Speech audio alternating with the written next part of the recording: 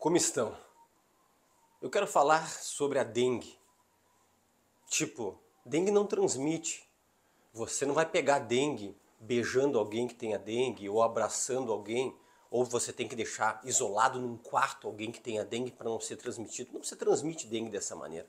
Estas e outras informações fundamentais que todas as pessoas precisam saber, eu vou transmitir nesse vídeo sobre dengue, o que todos precisam saber eu quero te fazer um pedido. Você tem uma oportunidade de salvar uma vida. Se não quiser encaminhar para um grupo de WhatsApp, encaminha pelo menos para uma pessoa. Você pode ser responsável por livrar essa pessoa do óbito com o compartilhamento desse vídeo. Esse vídeo tem uma informação que é de utilidade pública. Um vídeo muito claro, muito simples para todos entenderem. Eu sou o Dr. Fernando Lemos, eu sou médico, sou coloproctologista, Sou criador do canal Planeta Intestino. Na atual data já passamos de 6 milhões de inscritos. E eu te convido primeiramente para se inscrever no canal. Tem pessoas que gostam dos vídeos, compartilham, segue as orientações, porque você sabe que aqui nós só trazemos informação com comprovação científica, mas não são inscritos. Não fazem parte da nossa família Planeta Intestino. Clicam de desinscrever-se, é totalmente gratuito. E o que eu vou te pedir agora, se você puder fazer para não esquecer, clique no curtir, dê um like. Isso aqui é extremamente importante para o nosso canal, o canal é meu, o canal é seu. E aqui você tem informações que você pode fechar os olhos e seguir sem medo, porque nós não trazemos aqui achismos do Dr. Fernando Lemos ou de algum outro médico. É apenas o que a ciência diz. Pessoal, vamos lá. Nós estamos vivendo no Brasil, nesse ano de 2024, a maior epidemia de dengue de todos os tempos. Imagina que nesses meses iniciais já passaram de um milhão de casos confirmados. Você tem noção que é isso? Já passaram de mil óbitos.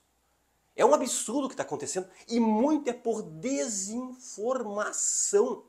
Tipo isso aqui. Esse dia tem um paciente que chegou, doutor, o meu filho está com dengue, está isolado, preso num quarto para ninguém pegar dengue. Dengue não se transmite dessa maneira. Não é por contágio, não é por tosse, não é por, por toque. E outra coisa que eu vou dizer para vocês, porque aqui no, esse vídeo não é para eu dizer, ah, não tem que deixar água parada para o mosquito Aedes aegypti. Não, não é sobre isso, é orientação sobre a doença dengue. Tá? Aqui, outra dica, você que está com alguma suspeita de dengue, que eu vou citar aqui no vídeo, vá fazer um teste rápido da dengue. Ali nesse teste rápido fazem até em farmácia. Fazem em posto de saúde, fica pronta no máximo dentro do prazo de máximo de duas horas. Detecta a presença do antígeno NS1, que vai confirmar se você está ou não está com dengue. O que, que é a dengue, pessoal? A dengue é uma arbovirose. Então, quando você disser, dengue é um vírus, é o vírus da dengue. Tem pessoas achando que dengue é um protozoário, que dengue é uma bactéria. Não, é o vírus da dengue. É uma arbovirose. Só que é transmitido pela picada do mosquito fêmea do Aedes aegypti. E olha que interessante, sabe qual é os horários que essa fêmea mais se alimenta? Quando eu falo mais se alimenta, é a hora que ela vai picar as pessoas nas primeiras horas da manhã, entre as 5 e as 7 horas da manhã, ou à tardinha no anoitecer, 17h30 até as 19 19h30. Então são horários críticos. Claro que pode picar em outros horários, mas esses são os principais horários que essa fêmea se alimenta e ela pode picar e inocular esse vírus da dengue. Pessoal, o que eu quero que vocês entendam, que eu estou vendo que está tendo muita confusão em rede social, é sobre as três fases da dengue que são muito bem definidas e os seus cuidados são muito bem definidos. É isso que vai salvar uma vida. A primeira fase é a fase febril. A segunda fase é a fase crítica. E a terceira fase é a fase de recuperação. Pessoal, fase febril. Quais são os sintomas? Febre acima de 38 graus, dores por todo o corpo a pessoa diz que tem dor nas juntas, nas articulações, tem dores estranhas nas costas, tem dores atrás dos olhos, reto, ocular. A pessoa pode ter petéxia, petequias, que são umas manchas vermelhas na pele. A pessoa pode ter algum tipo de sangramento, tipo no nariz, na gengiva. Atenção, não é só porque você tem um pequeno sangramento que você já vai dizer que está com dengue hemorrágica. Você sabe que a dengue hemorrágica é uma forma, uma variante da dengue que é extremamente grave, é uma evolução que pode levar, já levou muitos óbitos no Brasil. ok? Mas não quer dizer que qualquer sangramentozinho inicial que vai ser a dengue hemorrágica. Claro que eu te estimulo aí num pronto atendimento, procurar uma atenção médica com forma mais que urgente. Mas nessa fase febril, o que, que você tem que saber? Que é o que eu acho que está com pouca informação. É uma fase de hiperidratação. Você fazendo isso, você pode fazer com que as outras duas fases sejam amenizadas. Porque o vírus da dengue, ele causa uma hemoconcentração na nossa corrente sanguínea e ele causa uma desidratação. E tem que ter uma hiperidratação. Você quer saber quanto que você tem que repor de líquido por dia? Você que está com dengue ou você que está com uma suspeita de dengue? 70 ml por quilo por dia. Sabe o que é isso? Pega uma pessoa que pesa 70 quilos, multiplica por 70. Vai dar 4.900 ml, 5 litros de líquido por dia. É 70 ml por quilo por dia. E, tem, e como é que você vai dividir esse líquido? Olha só. 5 litros. Um terço tem que ser com soro caseiro, ou algum isotônico, ou com soro. Os outros dois terços pode ser com água, pode ser com água de coco, tá? Só que você tem que se hidratar. Tem soro caseiro para vender pronto na farmácia?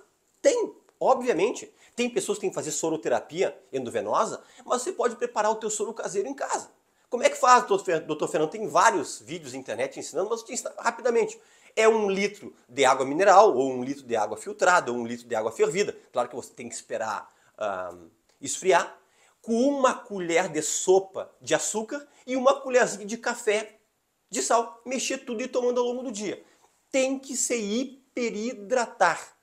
E outra coisa, essa é uma fase que o tratamento é com sintomáticos.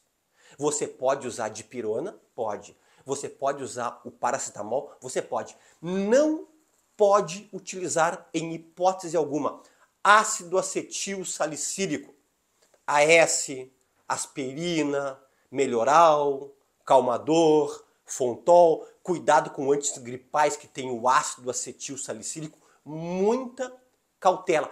Cuidado com o uso de anti-inflamatórios. Eu tenho vendo pessoas sendo prescritas para dengue, ibuprofeno não se usa, nimesulina não se usa, diclofenaco não se usa, naproxeno não se usa, não se usa corticóide, prednisona, prednisolona, hidrocortisona. Por quê? Porque tanto esses medicamentos anti-inflamatórios, os corticoides, esses antiagregantes paquetados, eles agem na rota das plaquetas. As plaquetas são responsáveis por coagulação sanguínea. E nós sabemos que na dengue acontece uma baixa das plaquetas e quando baixar demais pode levar para dengue hemorrágica, causar muitos sangramentos de mucosa. Então, fase 1 febril. Aqui é uma aula. Hiperidratação e tratamentos sintomáticos, ok?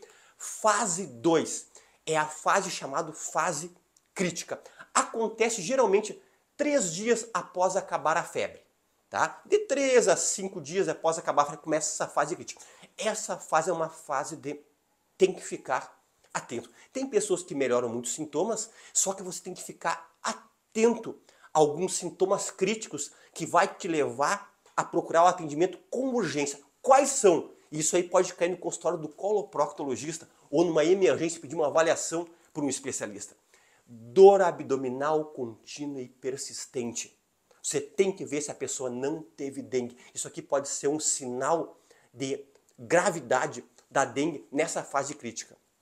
Vômitos, piora da fraqueza, sangramento por mucosa, nariz, gengiva, pela urina, pelo ânus, por mucosas.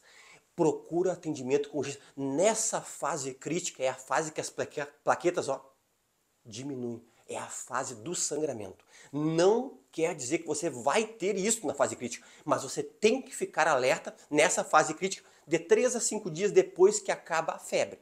Depois vem a fase de recuperação.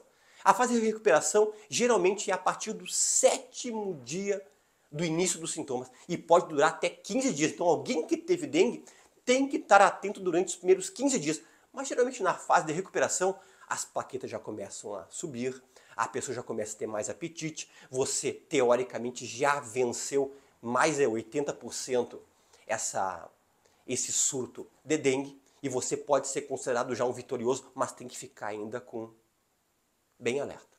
A minha dica principal, na dúvida, faça o teste de dengue.